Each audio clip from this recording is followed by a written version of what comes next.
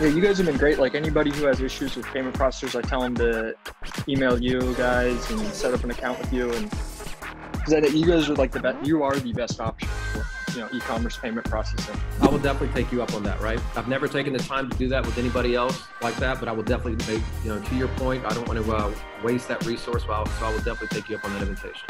Anybody who's thinking about working with them, you're the truth. Boom. Appreciate that. Appreciate that. Appreciate it. Appreciate it.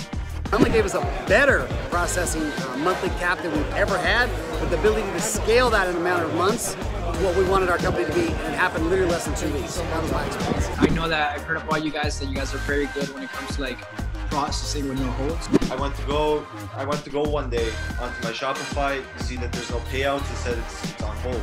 So I mean, I'm like, I, I want to do this. I want to continue my business.